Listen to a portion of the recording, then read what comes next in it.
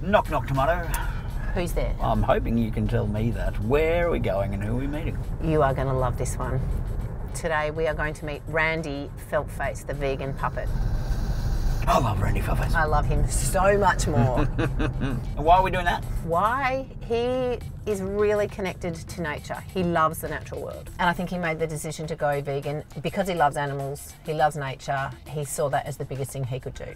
Right. But that's not his message to you. Well, what is his message? I'd love to know. He wants us all to change how we're living in our homes so we can protect animals in their homes. Because what we do, everything we do has an impact. We turn on a light switch, impact. We turn on our gas stove, impact.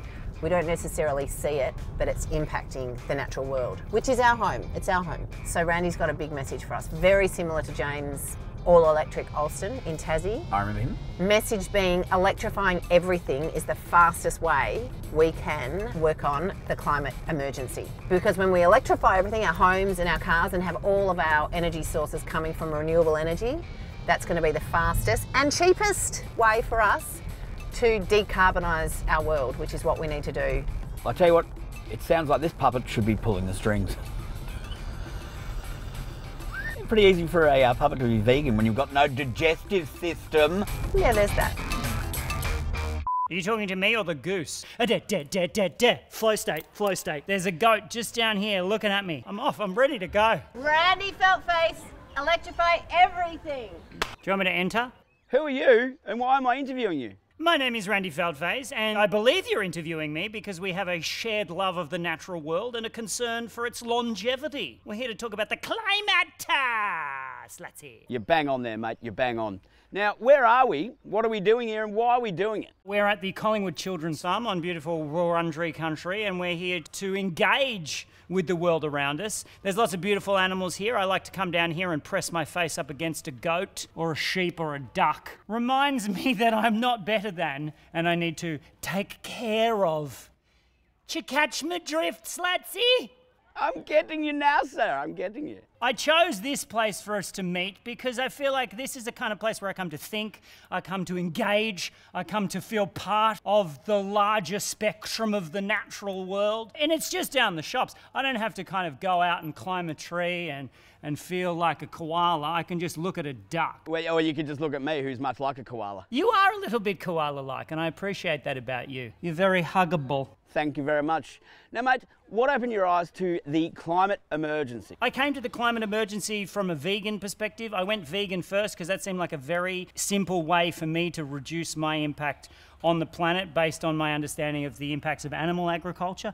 And from there, I started looking at climate change in general and, and what causes it and how we can change it and why it happens. Now I'm just like, my eyes are open to the truth and I'm walking around on a daily basis thinking about how I can change my footprint on this beautiful planet that we only have one of. Randy, why on earth do you want to save the planet? Because I live here and I'm quite fond of it. You give me a deep breath of refreshment. I love it. I could drink you. I'm like Listerine for the mind. But also, you know, you say that, but it's not like I'm some giant climate warrior who's single handedly changing the planet. They're very simple, small things that you can do. And I think people get very overwhelmed at the scope of it, the massive, overwhelming mountain of, oh my God, how am I going to do anything to help the planet? But it's very simple. You can just start at your home and just make little changes, and it's not that terrifying. Mate, as a famous puppet, you travel a bit.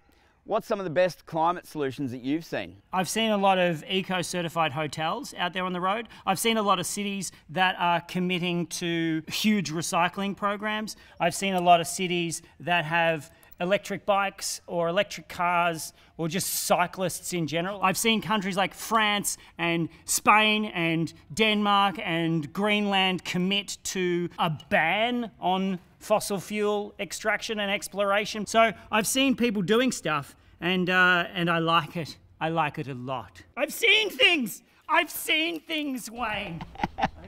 I've seen things I can't unsee. France is committed to no more single use plastics. They went into the supermarket and went, Look at this giant pile of plastic. Why am I wrapping my broccoli in plastic? It's not necessary. I'll wash it when I get it home. For the love of sweet slatsy, the waste is unbelievable. What do you say to people or puppets who don't understand that we're right now in a climate emergency. I say to them that it's happening, that it's undeniable, and I would say to those people, do the small things that you can do to help, and be, we can reverse it. We can change a lot of this. All hope is not lost. You see a light switch, turn it off. The kettle's on, switch it off. Are you using gas? Get off the gas. Go electric. Is your car on diesel? Get an electric one. Ride your bike. Recycle your stuff.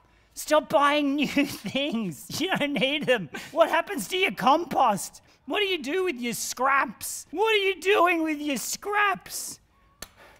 Do you eat meat? Why are you eating meat? Do you drink milk? Why do you drink milk? It's for cow babies. Stop drinking fluid designed specifically for baby cows. I mean, I don't know how much this is going to help. I don't know if people want to hear it put in this perspective, but I would just say to people snap the f- What do you want to see happening? Immediately, I want to see this country in particular stop extracting and exploring for fossil fuels, stop starting new fossil fuel projects, and I want better engagement in the world around us so that we understand that we're not better than everything else on this planet and we have to take care of it. That's what I want. Randy, what's the one thing that I should be doing? Electrify everything, get off gas. Renewable energies, no more fossil fuel. Very simple. Check what your energy company is. What are their policies? Look at where you get your energy from, and if it's not from renewable sources and if it's not electric, change it. Change it now.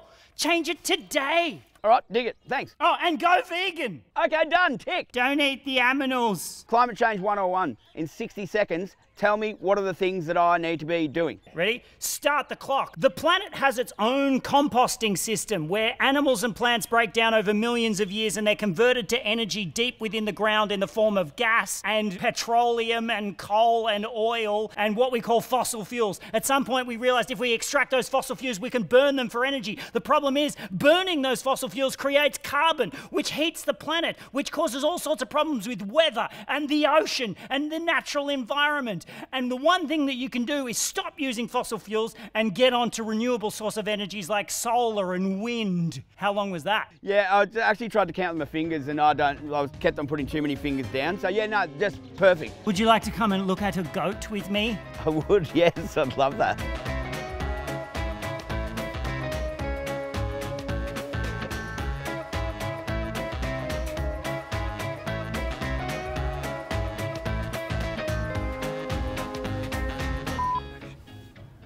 Press your face against a goat. Makes everything better. Okay. Mmm, It does make it better. doesn't it? Mmm. This is my favorite goat. Ah. Mwah.